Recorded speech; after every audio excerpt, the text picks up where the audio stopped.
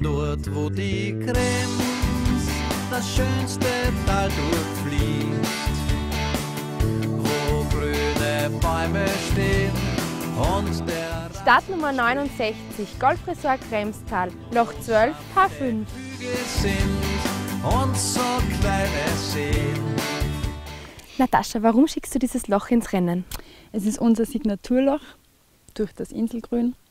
Und wir stehen hier jetzt am Abschlag, das heißt, man kann sich hier jetzt mal entscheiden, ob man eher einfach auf sicher geradeaus spielt oder ob man ein bisschen auf Risiko spielt und äh, unser Plateau quasi auf der Seite anspielt.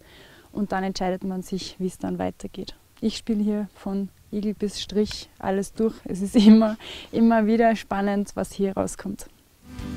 sich aus nah und fern. Und jeder wünscht sich, wünscht sich nur zu gern. Also wir sind jetzt hier quasi in der Landezone, wo man super mit dem zweiten aufs Grün angreifen kann, wenn man hier liegt oder auch nochmal vorliegt. Diejenigen, die ins Wasser schießen, können natürlich auch die wunderschöne Aussicht genießen und sich überlegen, wie sie es beim nächsten Mal besser machen.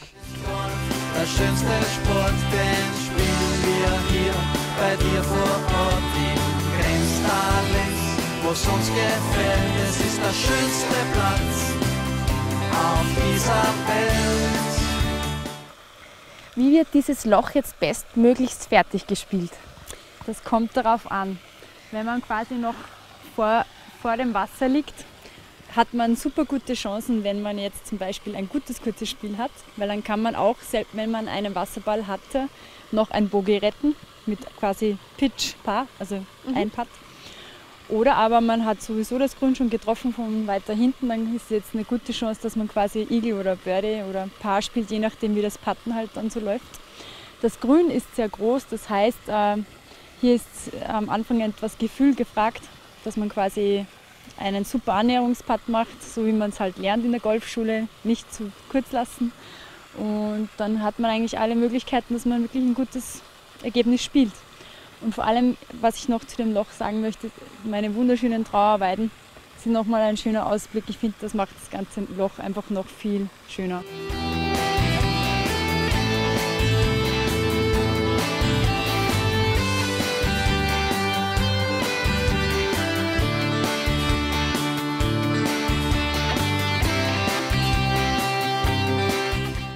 Natascha, wir sitzen hier auf einer gemütlichen Couch. Wie kommt das?